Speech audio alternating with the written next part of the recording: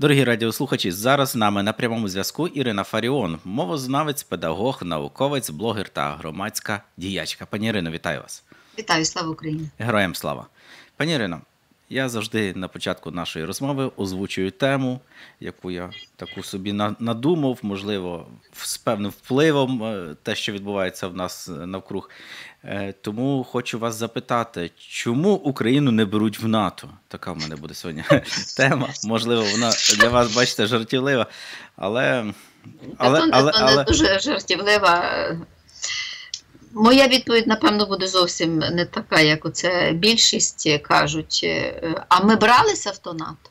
Ми самі взагалі-то в НАТО бралися, коли у нас підтримка вступу України до НАТО е, була на рівні 20% е, тривалий час. 20-15%. Пригадуєте той період, е, коли у парламенті була партія регіонів і комуністична партія, як ці придурки бігали з якимись кульками, на яких було написано НАТО ні. І очолював тих кульководів проти НАТО син В'ячеслава Чорновола Тарас Чорновіл. Е, тобто готовність нації вступу до НАТО сталася вже е, з 23 лютого 2022 року. Це, на мою думку, надто е, короткий відрізок часу, щоб довіряти ментальності народу. Ці великі гравці мусять бути переконані у тому поповненні, які вони до себе просять.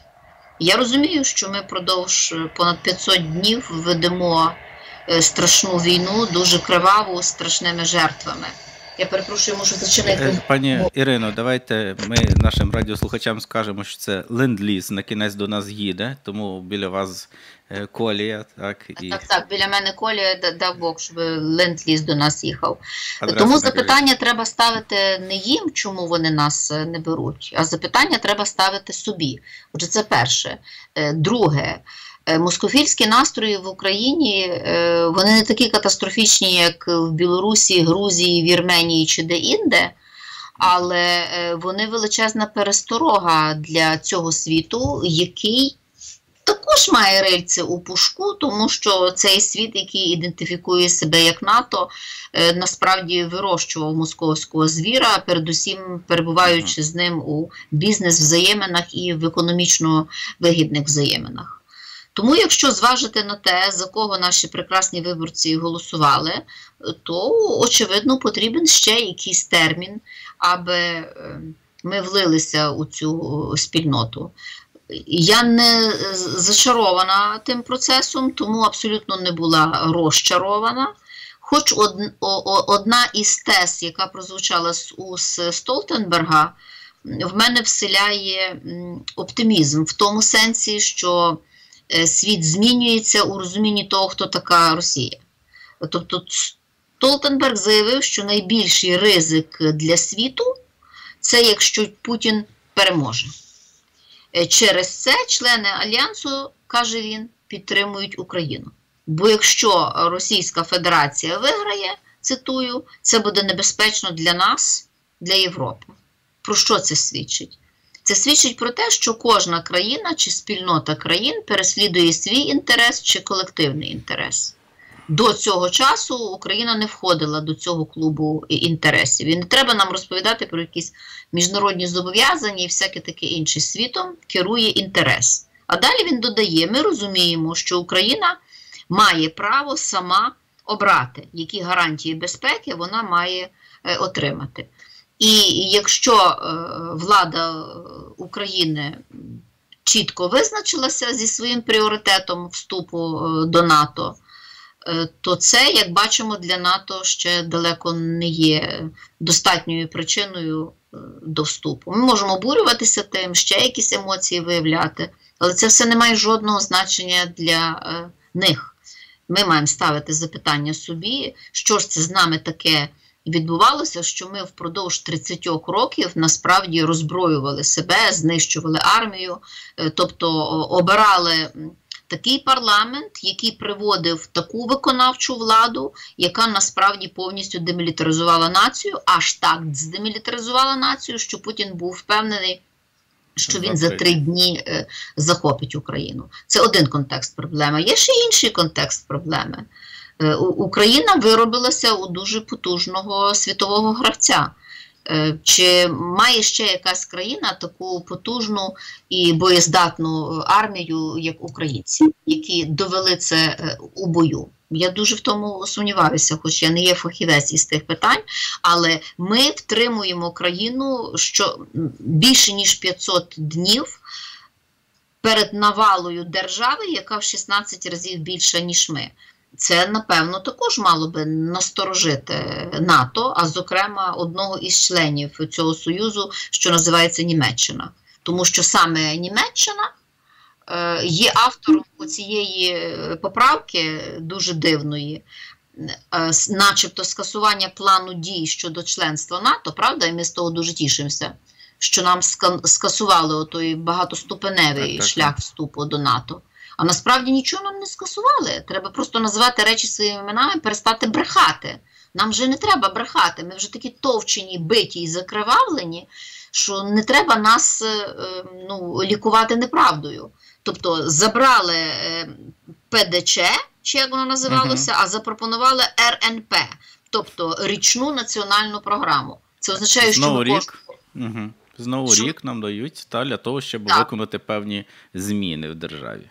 Так, і найцікавіше, що е, цей перелік, як кажуть, е, посвячені у ці питання, бо ми ж тих документів не бачимо, що це перелік з величезною кількістю е, сторінок.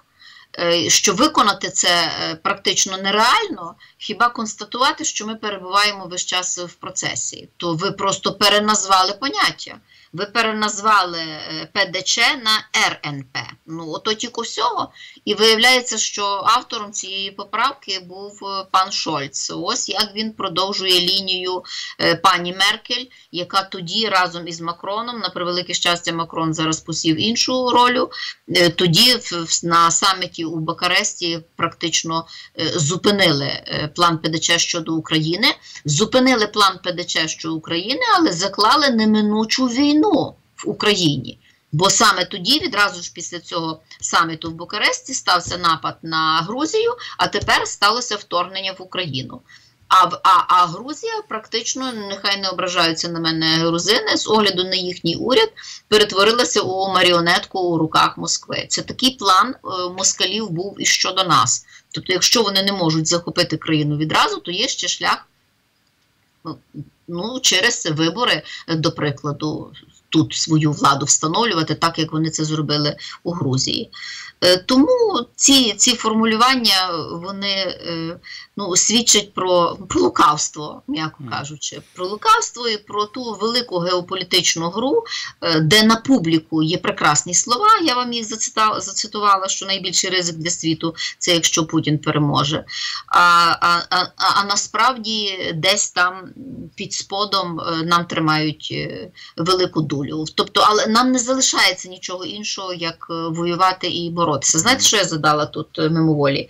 Я мимоволі згадала, коли закінчилася Друга світова війна, і наші е, націоналісти і упівці розраховували, що Сполучені Штати Америки і Великобританія оголосять війну москалям після того, коли вони перемогли Гітлера.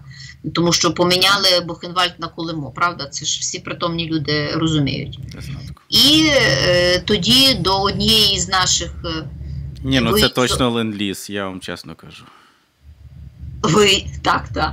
Воєнізованих одиниць е, прийшов керівник краєвого проводу на прізвище Дзвінчук восени в 46-му році і сказав, що після виступу Черчилля у Фултоні е, на удар між Сходом і Заходом нам нема чого розраховувати. Тобто Захід абсолютно прийняв політику Сталіна політику тоталітаризму. І тоді Черчилль сказав цю свою знамениту промову про залізну завісу, яка впала і розпанахала е, Європу. Тобто вони змирилися тоді із тим, хоч Лігу націй тоді було скасовано, було створено Організацію Об'єднаних Націй, тоді було створено власне НАТО. На противагу НАТО було створено е, Варшавський блок. Але незважаючи на те, НАТО співпрацювало із е, Росією, співпрацювало особливо в плані бізнесу. І е, ці всі санкції, 11-й пакет, яскраво свідчать про толерування великого зла. І в мене склалося таке враження, пане Ігорю, що основною проблемою для НАТО є не так е, дика Москва, е, оце оце орденство страшне, як проблемою для НАТО є Україна. Що ж тою Україною робити? От вона бореться, так, вона не і, здається. І, вона так, і віддати не, не, не гоже, бо тому що тоді прийдеться НАТО воювати з Росією, і зберегти якось теж не гоже, бо тоді виходить найсильніша... не дати не дати перемогти е, Україні, не дати виграти Московії, угу. тобто організувати таку собі нічию нічию і залишити, як тут кажуть деякі експерти, залишити такий люфт, щоб, мовляв, потім е, можна було торгуватися з Росією. Наприклад, ми не беремо Україну в НАТО, і це буде умовою миру між е, Україною і Москвою. Розумієте? Тобто, це відверто кажуть, власне. Істеблішмент при Байдені. Чи влаштовує це Україну? Е, Зеленський каже, що не влаштовує, що він не готовий віддати клаптика української землі, як він образно висловився, навіть якщо в якомусь святому українському селі зостався жити лише е, один дідо. Тобто міжнародна світова політика цинічна, але зовсім не цинічні чомусь українці е, у своєму способі мислення. Вони от нагадують мені от таких часом інфантилів, які розраховують, що хтось буде перейматися тим, що тут е, гинуть щодня люди. Ні, ніхто тим перейматися не буде, крім нас самих. Тому, якщо би українці сповідували доктрину націоналізму, де чітко написано, що тільки розрахунок на свої сили, е, то ми б і війни не мали. А так ми розраховували весь час на когось. Тому ось такий результат е, цього саміту. І він ще не встиг охолонути, як нам вже розповідають про те, що вирішальним буде історичний саміт у у де там. В Сполучених Штатах Америки, чи де це він має бути наступний? Ні, Сьогодні було ще в Українській правді написано так, що сьогодні Велика Сімка оголос... оголосить історичні гарантії безпеки. От так само слово історія було було вжито заголовок. Ну, але це е, українська так, правда, то ви розумієте. Так, е, я розумію. І в чому полягають е, ці гарантії безпеки? Ну, позитив, напевно, полягає в тому, що відповідальність на себе за ці гарантії безпеки, хоч вони вже нам раз згарантували. Добре, пані Ірина, ви, ви чуєте себе зараз у безпеці? Давайте так. Ми дуже по-простому говоримо, бо тому що ми з вами живі люди, ми з вами живемо приблизно в одному районі, та не приблизно, так. а точно. І ви чуєте себе зараз у безпеці у Львові? Ні, звичайно, що ні, ніхто, ніхто не чує. в Україні не чує себе у безпеці, залежно від того, чи це. Кожного так. ранку дивишся новини, і е, навіть якщо в нас не було тривоги вночі, то просинаєшся з тим жахом, що десь чи по Києву, чи десь е, на е, сході України щось прилетіло, якийсь будинок і. І цифра. Оця статистика. Ну, ви знаєте, я дуже не люблю жертви mm-hmm. говорити в цифрах, тому що тоді виходить, що це якось знеособлення так, е, людини. Так. так? І я не хочу, щоб наші люди, які загинули, трагічно загинули, вони стали статистикою для когось. Оце я не так, хочу. От от в мене таке є правило. Так скажіть, пані Ірино, чи ви вважаєте, що нам конче необхідно бути в НАТО?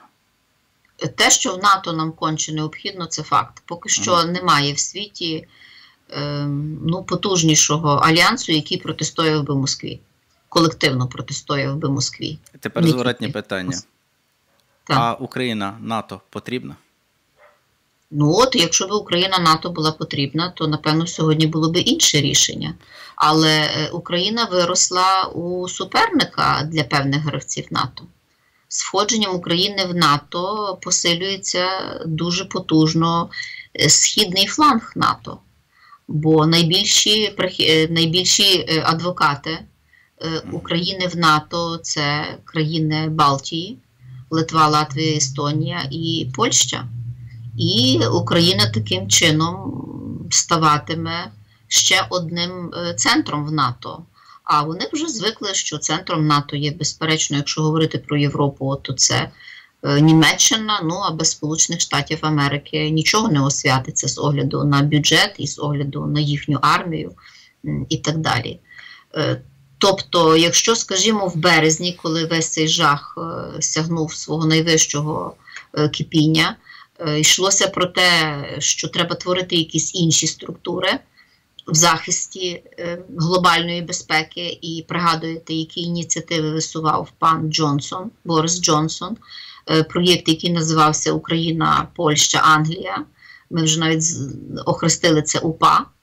То разом із Джонсоном цей проєкт також відійшов е, у минуле. І чи під великим знаком запитання. Тому залишається ось ця структура давно напрацьована. Але як бачимо, е, Україна для них є ось цією ну, розмінною картою. Це, по-перше, страх перед москалями, бо вони мають ядерну зброю.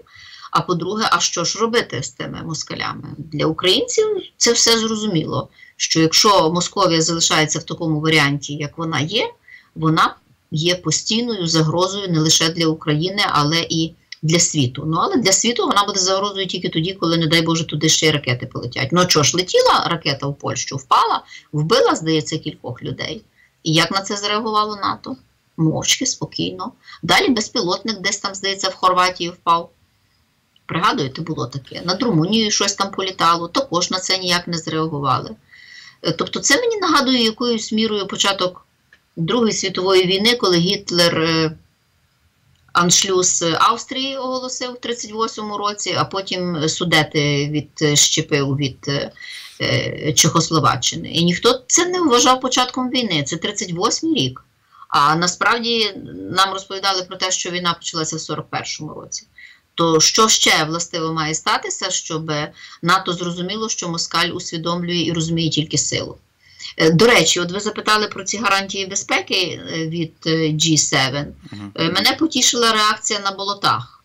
Тобто на болотах рот рот Путіна заявив відразу, що гарантії безпеки від Великої Сімки це насправді небезпека для Московії. Це означає, що у цьому є якийсь позитив тому що ці гарантії безпеки, як нам відомо, передбачають двосторонні договори. І я сподіваюся, що суть тих договорів полягає у забезпеченні України зброєю. Але знову ж таки, ми не знаємо, який термін, яку зброю Україна може постачати, чи проголосують за це парламенти цих держав, тому що своєрідність тих угод власне полягає в тому, що вони мають бути ратифіковані через парламент, на відміну від е, Будапештського меморандуму. Тобто, якщо у цьому, що відбулося е, ці дні, є щось позитивне, то позитив полягає в тому, що нам далі постачатимуть зброю, тому що е, ніхто за нас воювати не буде і не має воювати, з якої рації вони мають воювати. Інша річ, щоб ми отримали ту зброю, яка нам конче потрібна, а саме авіацію і дальнобійні ракети. А те, про що йдеться у тих гарантіях безпеки від е, G7, власне, я дозволю собі зацитувати, допомогти у сфері безпеки та сучасного військового обладнання на суші в повітрі і на морі з пріоритетом на протиповітряну оборону. Це те, що нам конче потрібно. Власне, ваше запитання, чи чуємося ми в безпеці, як ми можемо лягати спати спокійно. Я лежу і чекаю тривогу, так? І думаю, що так кожен другий так робить. Далекобійна артилерія та вогневі засоби дальньої дії, бронетехніка та інші ключові засоби, такі як бойова авіація що надважливо, також шляхом сприяння підвищення рівня оперативної сумісності е, з євроатлантичними е, партнерами. І е, важливий ще там нюанс у, у тих так званих гарантіях це намір не, суверенні активи Росії в їхніх юрисдикціях залишатимуться знерухомленими доти, доки Росія не заплатить за шкоду, яку вона завдала Україні. На мою думку, це, це важливий пункт. Угу. Дуже дякую. Пані Ірино, скажіть, будь ласка, якщо не вважати то, що в нас війна, тобто ми цей. Цю змінну, знаєте, як математики кажуть, коли є якийсь е, це, це приклад задачі, то вони говорять, що є багато змінних. Оцю ми змінну виключимо зараз, і ми поговоримо про внутрішні наші моменти, чому е, нас ніяк не хочуть включити в це НАТО. Е, як ви гадаєте, яка проблема в Україні, що нас іменно не хочуть? Ну, тобто, нам давали список певних якихось ну, як це правильно сказати, що з мені думка з голови вилетіла. Те, що нам потрібно зробити, були реформи, це була боротьба з корупцією, до прикладу, я точно пам'ятаю. Чи поборона корупція, до прикладу? Ну, е, ви знаєте, е, якщо когось не хочуть кудись прийняти, то будуть розповідати про корупцію. А якщо... що в одній країні світу ніде не викорінили доконечну корупцію. Це це просто смішна причина. Це це привід, щоб сказати, ми вас не беремо. Але ще одна дуже цікава річ, на якій наголосив пан Волкер. Він сказав, що оцих два дні великих очікувань для певних людей, я цього ж не очікувала, звичайно, думаю, що ви також. Е, створено умови для незакінчення війни. Ось в чому полягає весь жах того, що відбувалося 11-12 числа. Тому що нас, е, звісно, що не беруть в НАТО. Перша причина полягає в тому, що ми перебуваємо у стані війни з Московією. Якщо ми туди вступаємо, вони починають е, воювати відповідно до п'ятої статті. Так, воювати вони не хочуть. Ніхто не хоче запровадити війну в свою країну. Це логічно і природно. Але разом з тим абсолютно слушно каже пан Волкер, що створено умови для незакінчення війни, тому що одна з умов вступу України в НАТО це закінчення війни. Це означає, що Путін зацікавлений цієї війни ніколи не закінчувати. Що має властиво статися, щоб він цю війну закінчив в плані юридичному, політичному і ще в якомусь іншому. Тобто вони підкинули йому фантастичну тезу. Створити умови для незакінчення війни. Це це, це катастрофічне формулювання. І найцікавіше, коли у Столтенбера запитали, ж, ви завели поняття умов знов для України вступу до НАТО, то які ці умови? Хто ці умови має виписати для України, яка пише кров'ю свою соборність і свою незалежність, і своєю кров'ю платить за свої страшні політичні помилки, і найкраще платять через найгірших? Він не знайшов відповіді на це запитання. Але разом з тим, політично ми це прочитуємо. Що тоді Росія не зацікавлена цю війну колись закінчувати. Бо якщо вона цю війну закінчує, так, то тоді Україна може вступити в НАТО. А це найбільший жах для Росії, коли Україна стає е, членом цієї спільноти. Ну тоді, на вашу думку, скільки ресурсів буде в Росії для того, щоб вести війну до Ну, весь жах полягає в тому, що, е, як мені відомо, Росія вийшла на ті самі, е, на то саме підложжя випуску своїх ракет, які в неї були до початку повномасштабного вторгнення. Ось така. Ось така ціна прекрасних лицемірних санкцій Європейської унії щодо Московії.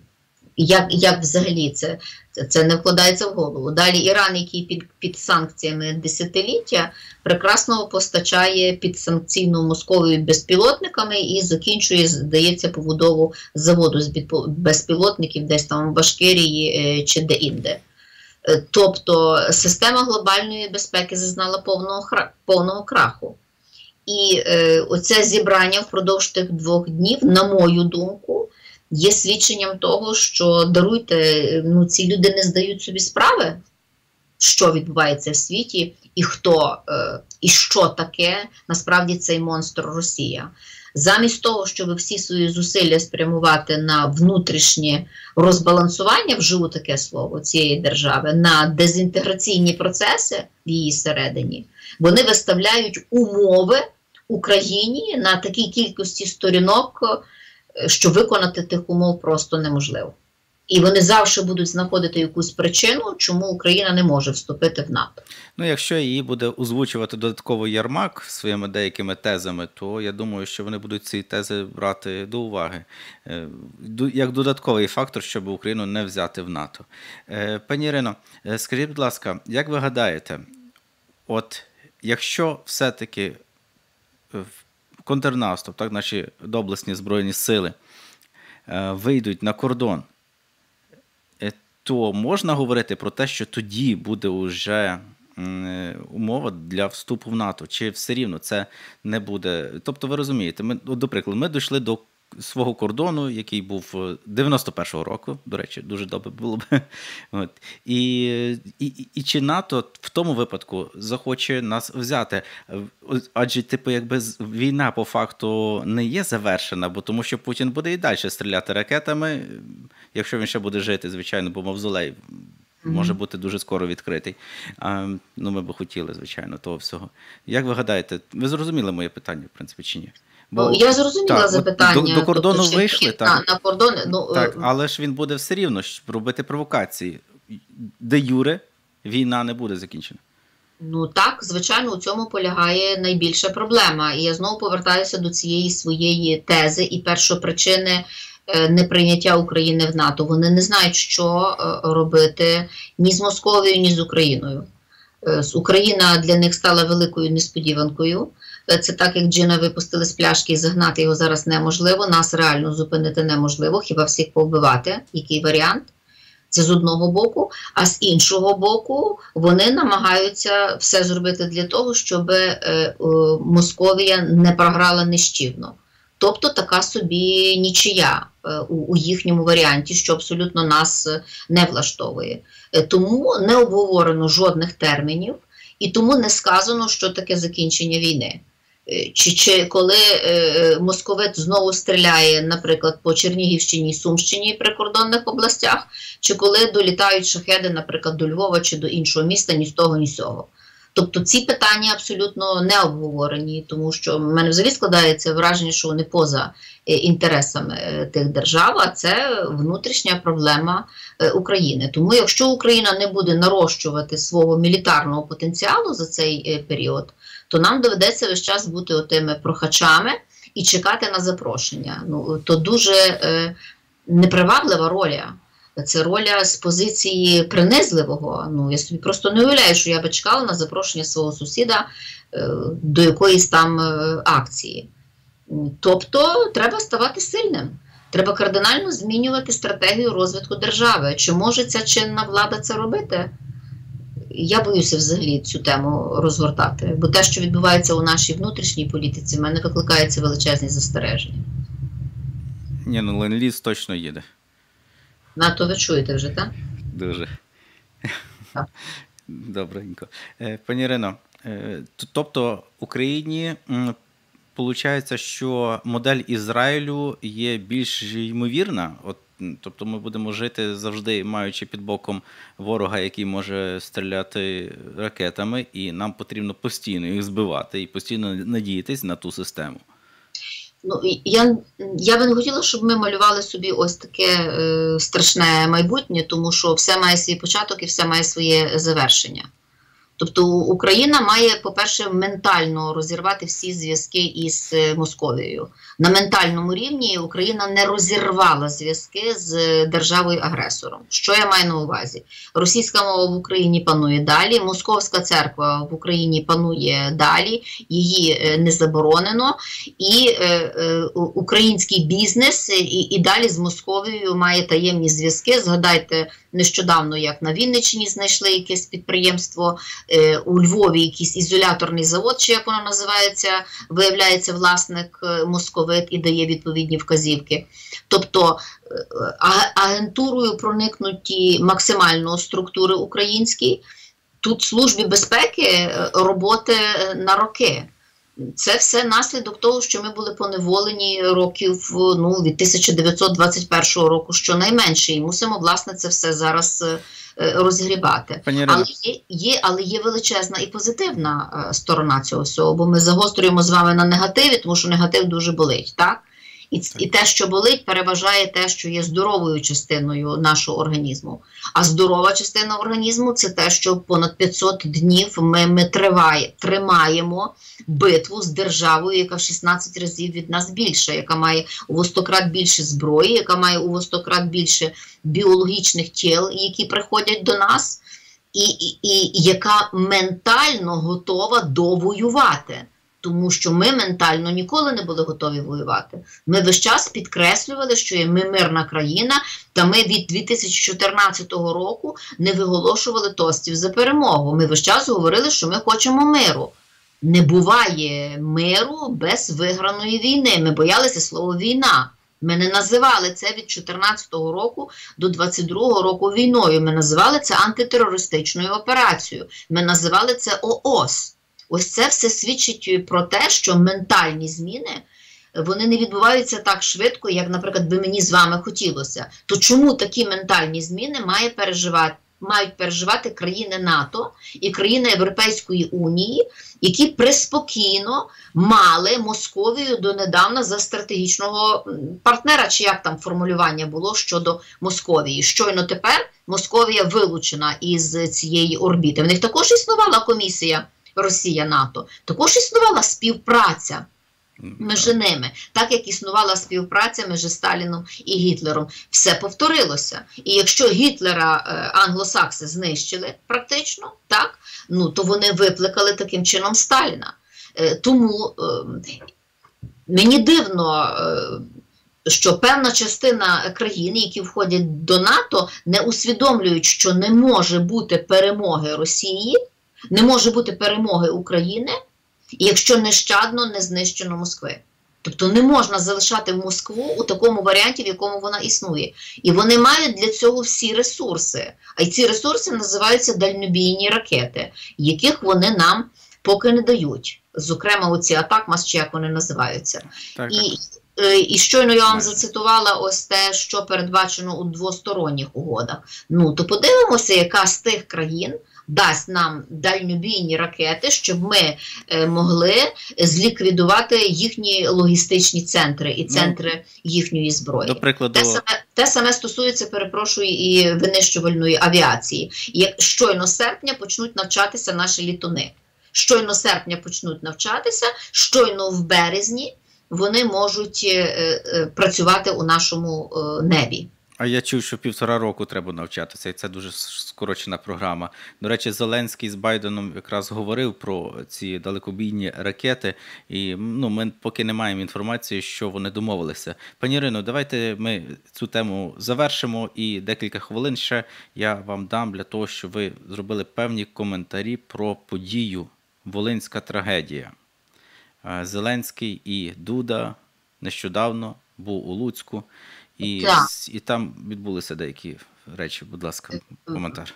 Ігорю, ця тема надзвичайно широка, вона потребує якогось особливого обговорення, але е, якщо дуже стисло, то найкраще, що могло бути в тій ситуації, якщо ви запитуєте про Зеленської Дуди, що жоден з них, вийшовши із е, костелу у Луцьку, чи, чи що це було, не виголошували жодних промов а просто у соціальних мережах написали приблизно однаковий текст, е, що вони вшановують жертви і що ми сьогодні разом. Тобто, якщо зважати на те, на поведінку Дуди, е, то мені здається, е, що він посів дуже правильну позицію максимально цю тему знейтралізувати. Це позиція Дуди. Але зовсім інша позиція польського парламенту, тому що польський парламент ухвалив е, резолюцію, в якій звучить ось це е, дике слово е, про геноцид, який стався геноцид поляків на Волині. Ну, В кожної нормальної людини виникне відразу запитання, що робили поляки на українській Волині, і як ви можете довести, що це був геноцид ексгумації тіл е, не відбувалося. А ви заявляєте, що було замордовано 100 е, тисяч е, поляків, тоді коли українські дослідники подають зовсім інші цифри: 20 тисяч українців і 35-40 тисяч поляків. І найстрашніше, що поляки звинувачують в тому, звичайно, кого тих, кого вони викликали, викликали е, своєю ненавистю до українців і своїм приниженням українців. Вони звинувачують в цьому організацію українських націоналістів і українську повстанську армію. І Українська повстанська армія і Організація українських націоналістів боролися за українську соборну самостійну державу проти усіх окупаційних режимів. Це окупаційний режим польський, це окупаційний режим московський, і українська повстанська армія виникла на на хвилі війни із черговою окупацією е, німецькою. Тобто ці формулювання, які запропонували поляки у резолюції своїй, абсолютно не відповідають історичній правді. І дуже би хотілося, щоб історичні події досліджували історики з серйозною документальною базою в руках, а не політики підтасовували ці події під певні е, під вибори, як це е, ми маємо е, у Польщі. І ще дуже цікава річ, пане Ігорю, що я порівняла це з тим, що було 10 років тому. 10 років тому. 10 років тому Вадим Колесніченко, такий ворог депутат від партії регіонів е, організував е, звернення до польського парламенту. Уявіть собі, це це вперше в нашій історії. Держава звертається звертається е, з проханням до іншої держави, щоб засудити героїв не своїх. Ну, це просто не вкладається в голову. Тобто. Колісніченко зібрав підписи 148 депутатів Верховної Ради України, які звертаються до Польщі, щоб події на Волині вона визнала е, геноцидом. Ну і ось поляки визнали це геноцидом та ще й покликалися на це звернення е, Колісніченка. Коли я назву вам людей, які підписали це звернення, то ви відразу їх екстраполюєте на теперішню війну. Це, наприклад, В'ячеслав Богослаєв. Той Богослаєв, який очолював Мотор Січ, яка виготовляла Е, мотори до гелікоптерів, що московські до нас прилетіли. Це Володимир Бойко, е, той, який мав е, свій свій партійний блок на в Маріуполі, був директором одного із їхніх підприємств. Це Євген Балицький, той Євген Балицький, який є гауляйтером Запорізької області, і тепер чинний депутат Е, Запорізької обласної ради. Далі сальдо скажете зараз. Чи Звичайно, ну, я спеціально я, називаю ми прізвища, які дуже добре вам відомі. Що mm це свідчить? Що якщо mm поляки ухвалюють такі резолюції, то з ким вони єднаються? Вони єднаються от з тими людьми, які ще 10 років тому звернулися до польського парламенту, щоб проголосувати таку резолюцію. Ну то чим вони думають? Вони що не усвідомлюють, що в нас з ними спільний ворог? Що нам навпаки треба провадити спільну політику, а історію залишити для істориків щоб історики реально це все проаналізували. І щоб історики розповіли нам, що до цієї трагедії на Волині була трагедія на Холмщині за рік до того, що була трагедія в Павлокомі, що була е, трагедія в е, е операція Вісла, чим це все угу. закінчилося. Що ці поляки до смертної кари засудили Степана Бандеру, що е, е поляки, які служили в Аушвіці, Замордували на очах у німців, німці за це спостерігали. Замордували двох братів Степана Бандери, Олександра і Василя. Це, це, це, це Ми про це не маємо говорити. так? Ми не маємо порушувати тих питань. А натомість вони нас закликають до чого? Вони нас закликають до покаяння. Покаяння перед чим? Ви спочатку доведіть цю провину. І доводити це мають не політики, а доводити мають історики. Е, церковники вигадали собі гасло. Е, це гасло звучить, зачекайте, воно таке дивовижне, на мою думку, що я не можу навіть його запам'ятати. Це гасло якось звучить. Пробачте і будете пробачені, чи що, я не пам'ятаю. Вони собі це вигадали е, вигадали в 2005 році. Так от це, це гасло воно не працює, тому що правди не сказано, а є лише звинувачення на наш бік і звинувачення у цьому Організації Об'єднаних Націоналістів і Української повстанської армії, тоді, коли, наприклад, історик Богдан Гудь абсолютно справедливо на основі документів доводить, що Українська повстанська армія на тих теренах, де це відбувалося, була страшенно інфільтрована московськими елементами, а Волинь на ту пору була страшенно змосковщина. І вона реально виявляла неймовірну ненависть до поляків, які хотіли цю Волинь покатоличити. А з Московщення Волині полягало в тому, що там були московські е, храми. І хто був зацікавлений в тому, щоб вбивати поляків на Волині? Зацікавлені були в першу чергу московити. Чому?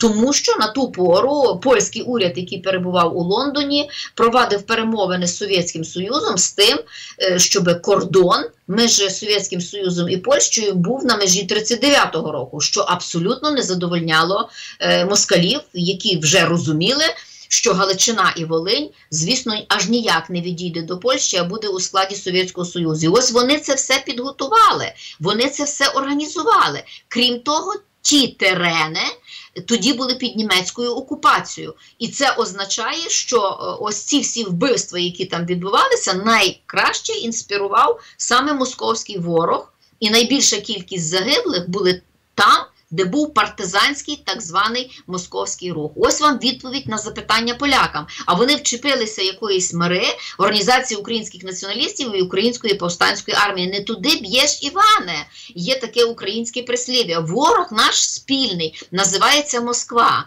А організація українських націоналістів ви її виростили. Виростили своєю ненавистю до українців, е, своїми акціями пацифікації і своїм смертним вироком в першу чергу Степанові Бандері. Бандері. Я вже мовчу про те, що армія Крайова е, знищила е, тещу Степана Бандери, розірвавши її кіньми. Е, тому таке недалекоглядне рішення свідчить про комплекси польські. І історія не навчила їх поки що звільнятися від тих комплексів. Я їм щиро цього бажаю і завершу цю свою думку тим, Давайте, що так. казав Степан Ленкавський, наступник Степана Бандери, після того, коли Бандеру вбили москалі, тобто отруїли москалів. Поляки засудили на. Довічне ув'язнення, німці посадили до тюрми на 4 роки, а москалі, врешті-решт, його отруїли. Так от, що сказав наступник Степана Бандери? Наступник Степана Бандери Степан Ланкавський, видатний філософ, сказав дуже глибоку і важливу річ для наших теперішніх взаємин з поляками, що наше майбутнє з Польщею набагато важливіше, ніж минуле. Ну, ось вони можуть почути цього націоналіста, автора українського декалогу що наше майбутнє з вами, наші теперішні стосунки важливіші, ніж те, що було колись. Тому що те, що було колись, це наша велика героїчна історія. І ми не торгуємо своїми героями, і ми не торгуємо своєю історією. І нема чого нам тепер розповідати, що ви от е, прийняли зараз е, е, наших тимчасово переміщених осіб, а ви маєте тепер попросити у нас прощення. Та вже стояв Порошенко в 2016 році на колінах. Е, перед меморіалом жертвам Волинської трагедії. Їм ніколи цього не буде досить ні стояння на колінах, ні вибачень і всього іншого. У них залишилася ось ця імперська. Е, апендицитна модель із якимись претензіями на українські етнічні е, землі. Тому перше запитання: що ви там робили на Волині? Властиво. Добре, пані Ірино, дуже дякую. Будемо завершувати. Ірина Фаріон, мовознавець, педагог, блогер. Та громадська діячка і прекрасна жінка була сьогодні в нас в прямому етері. А ми йдемо далі за програмою. Дякую, до побачення. Дякую, Дякую. слава Україні. Героям слава.